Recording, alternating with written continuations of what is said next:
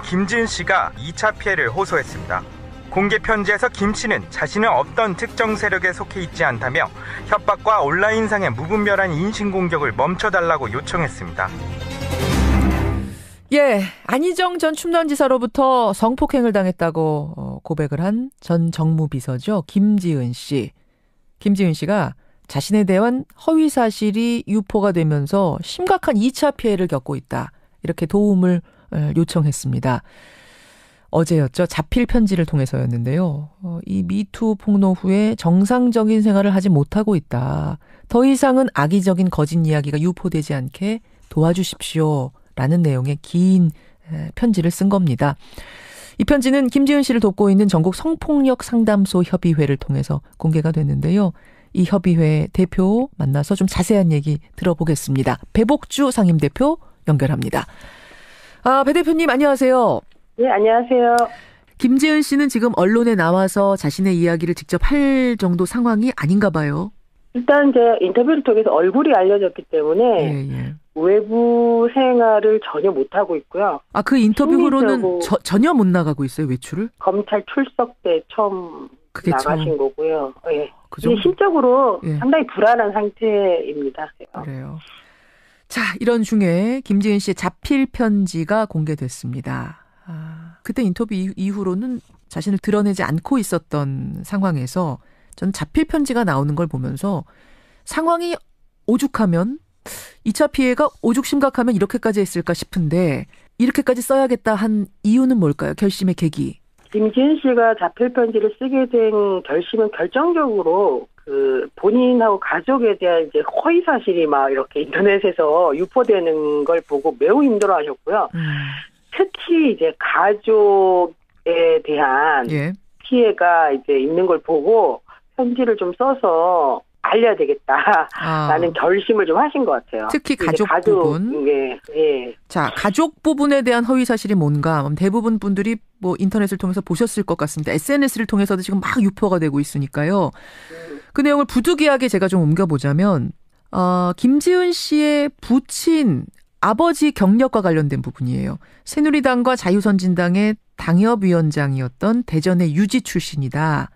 라는 내용입니다. 따라서 뭔가 김지은 씨가 지금 어떤 기획에 의해서 음모에 의해서 진영 논리에 의해서 이런 일들을 폭로를 한 게 아니냐 뭐 이렇게 연결이 되는 그런 글들이 돌아다니고 있는 거죠. 사실관계 확인 가능합니까? 네, 가능하고요. 우선 가족과 관련된 정보들은 모두 허위고요. 모두 허위라 하면 그러니까 새누리당이나 자유선진당 그 여권 쪽과 전혀 관련이 없, 는 분이란 네, 말씀이세요? 네, 전혀 관련이 없습니다. 당협위원장 아니고요. 예, 당원이었던 아닙니다. 적도 없고요. 네, 전혀 아닙니다. 아. 이거는 김재인 씨가 계속 말씀하시고 계신 거고 편지에도 적혀 있어요. 그런 활동을 한 적이 없다고. 그렇죠. 네. 전혀 아니란 말씀. 어제 저희가 밤에 제가 이 인터뷰를 하기 전에 예. 김지은 씨한테 확인을 마지막으로 했는데요. 음.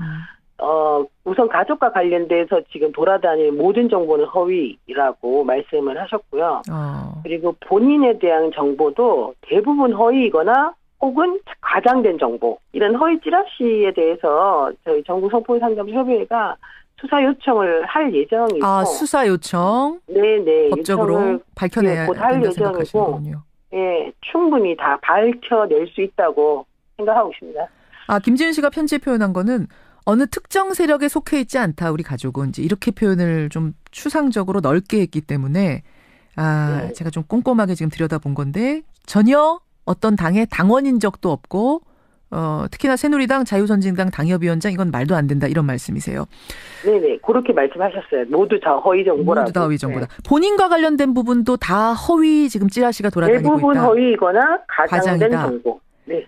그 중에 이제 핵심적인 게 뭐냐면 이것도 불가피하게 제가 사실 확인은 좀 할 수밖에 없을 것 같습니다. 기왕에 사실 확인하고자 쓴 편지니까 음. 돌싱이다. 그러니까 결혼을 했다가 지금 이혼한 상황이다라는 게 지금 이 상황에서 왜, 나, 왜 돌아다니는 찌라신지 모르겠습니다만 그 사실도 막 돌아다녀요. 그 부분에 대해서. 맞습니다.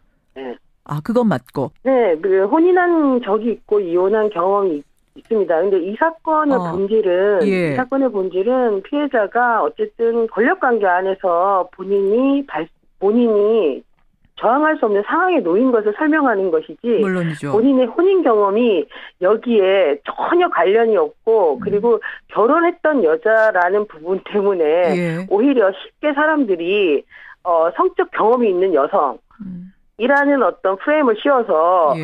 저런 경험이 있는 여자가 음. 어왜 저렇게 성폭력이라는 언어를 갖다 붙이는가 이런 식으로 아주 성폭력과 이 성적 관계를 이렇게 동일시하면서 예, 설명하는데 예. 유효하게 작동하는 게 결혼 경험인 것 같아요. 바로 그래서 그 부분을 네. 넣어서 지금 누군가가 돌리고 있는 게 아닌가라는 의심을 하시는 거군요. 일부러 그 그쵸. 프레임을 씌우고자. 네, 바로 그게 과장이고 찌라시고 네.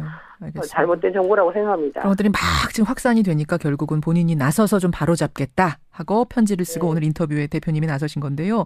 그 내용 편지 내용 중에 보면 이렇게 적혀 있더라고요. 이 얘기를 이 거짓 이야기를 모두 지금 듣고 있습니다. 아, 하면서 이 정보가 누구에 의해 만들어지는지 충분히 예측 가능합니다. 이렇게 편지에 적혀 있던데 아, 누가 지금 만들어서 유포하고 있다고 생각하시는 걸까요?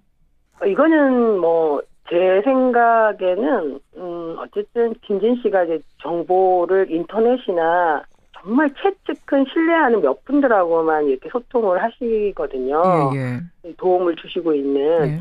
근데 이런 상황에서 아마도 이제 김진 씨는 지산 안지사의 수행 비서 일을 했기 때문에 예. 이 주변의 관계성이나 상황을 누구보다 잘 알고 있기 때문에 음흠.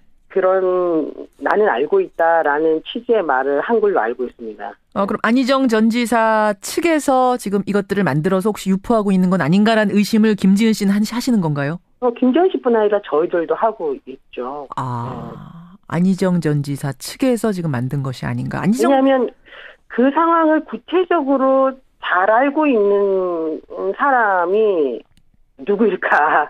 음. 이거 그리고 이런 구체적인 사실을 유포해서 실제로 도움이 되는 사람은 누구일까? 예, 예. 이런 생각을 사실 너무 상식적으로 해봤을 때, 예. 저희들, 저, 저도, 저조차도 그런 강한 의심을 갖게 되거든요. 사실은 이제 2차 피해가 이렇게 심각해진 게 주말을 지내면서 그런 것 같아요. 여론이 상당히 안 좋아졌습니다.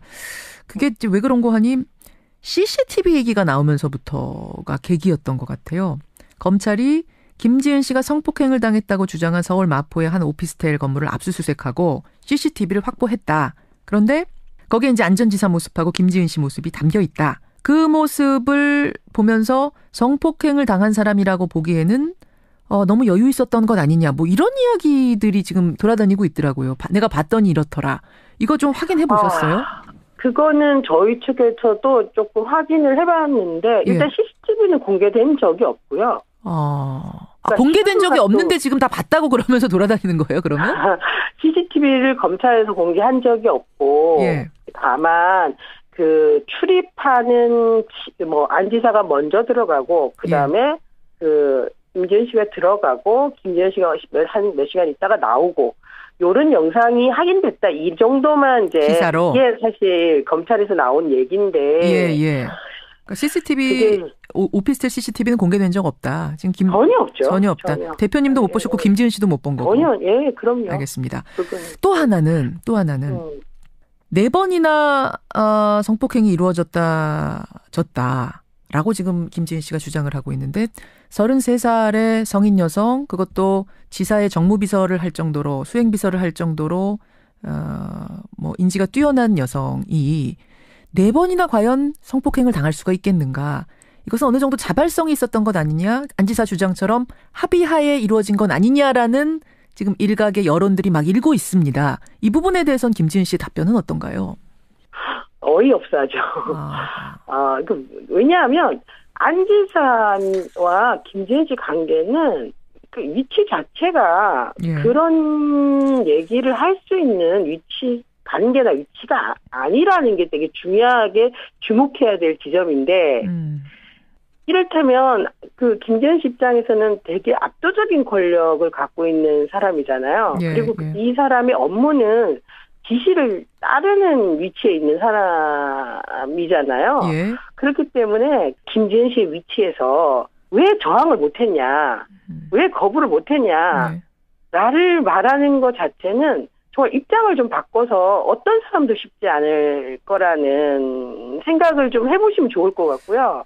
그게 이제 저희들이 말하는 우월적지를 이용한 성범죄 전형이라고 생각을 권력형 성범죄의 전형이다. 예예예. 예, 예.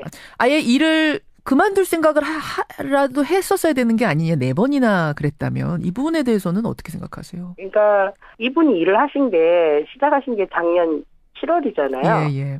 작년 7월 동안 내부적으로 문제를 해결하기 위해서 노력 안 한 게 아니에요.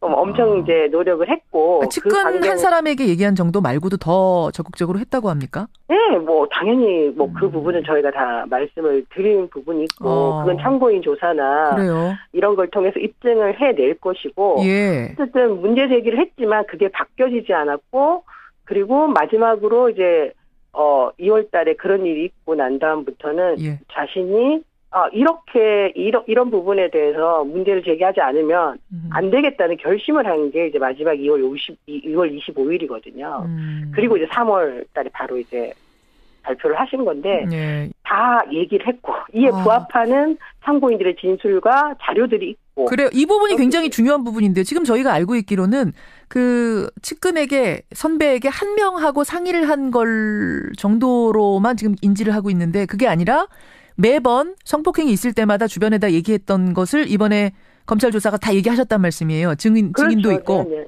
네네. 네. 그 아마도 제 참고인 전술이나 이런 걸 통해서 예 예. 예, 다 밝혀질 거라고 어, 생각을 하고 있습니다. 그렇군요. 네. 안희정 전 지사로부터 성폭행 당했다고 주장하는 분이 김지은 씨와 다른 한 분, 그 전 연구원이었던 분이 한 분 계시죠. 이분 외에 또 늘어날 가능성이 있습니까? 어, 김지은 씨가 방송에서 말씀하셨듯이 그 추가 피해자는 더 있는 건 맞고요. 아마 저희가 알고 있기로는 최소 한 명 이상은 예. 있다고 알고 있습니다. 그러니까 더미 더 좋은 민주주의 연구소의 연구원 A 씨 아, 말고도 고소하, 예, 예, 고소하신 분들 말고 말고 최소 한 명 이상이 더 있는 것으로 알고 있다. 네, 그분이 고민을 하고 계신 걸로 알고 있습니다. 그분도 역시 성폭행, 성폭력이 분명하고요. 네, 저 모두가 그 동의되지 않은 성관계이고 예. 그 동의되지 않은 성관계는 우월적지 권력을 위한 성관계. 라고 말할 수 있습니다. 그분은 고민 중이신 거군요, 지금. 본인의 모습을 공개하면서 이걸 문제 제기할까 말까를. 그런 상황이라고, 어, 조심스럽게 말씀드리고 싶습니다. 안희정 전 지사는 지금 합의하에 의한 성관계라고 생각을 한다. 이쪽으로 방향을 잡고 법적 대응을 할 움직임을 보이고 있는데 이 논리를 깰 증거들, 증인들 뭐 입증할 자신 있는 상태십니까? 네, 김진 씨는 사실 모두 진술했고 이에 부합하는 모든 이제 참고인들, 음. 증거들 충분히